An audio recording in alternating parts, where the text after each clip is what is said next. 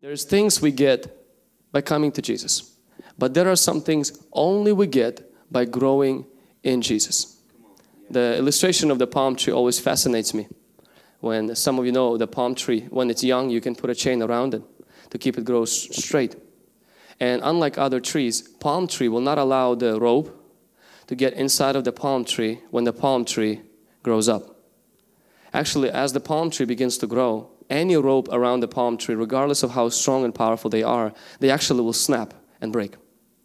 Other trees will allow the ropes to grow inside as the tree is growing.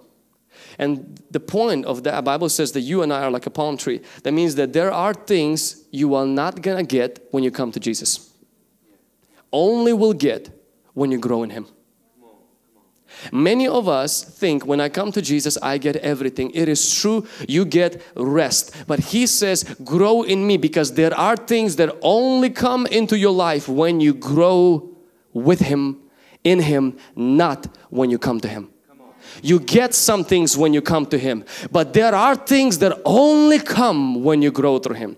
There are deliverances you can achieve by coming to prayer line, but there are certain things in your life that only come when you grow. That's why disciples were casting out a demon and Jesus says this is different kind of thing. He says this only comes through prayer and fasting. It means this comes when you grow. This comes when you pray. This comes when you commit to the Bible. This doesn't come through prayer line. He said this doesn't come different. He says there is certain things that will only come when you grow in me. Learn from me and then you will find rest.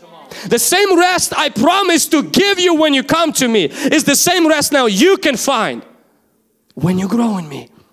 Jesus says you will know the truth and the truth will set you free. What that means is this, is that as you grow in your knowledge, there is a freedom that exists when you know Jesus. We all are used to, well, I just want the pastor to lay hands on me. I just want Jesus to set me free. But there is a certain level of freedom that only exists when you grow in Jesus.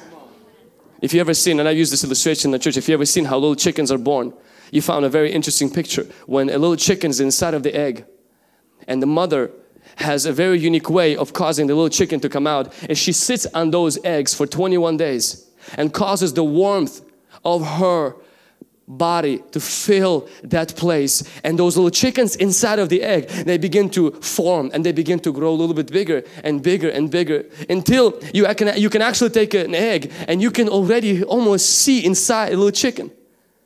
And at that time, you would think the mama would look at the egg and see the little chick is inside wanting to get out and the mama will help kind of like at least with the mouth or with the foot. But the mama never helps a little chicken get out of the egg. It's rude, harsh, evil, unhumane. Sometimes you want to take a hammer, like when I was younger, that's what I wanted to do. I wanted to until my parents stopped me. I want to take a hammer and go just crack it. Just help them. Poor little children. But the mama knows one thing if I keep sitting on them, they keep growing bigger and bigger and bigger. And one day they will outgrow their shell and their shell will crack on their own. And mama never helps them. She helps them with other things. She helps them to be conceived. She helps them with other things, but she doesn't help. There's certain shells in your life. God is going to let you be in Him and so you can grow out of it.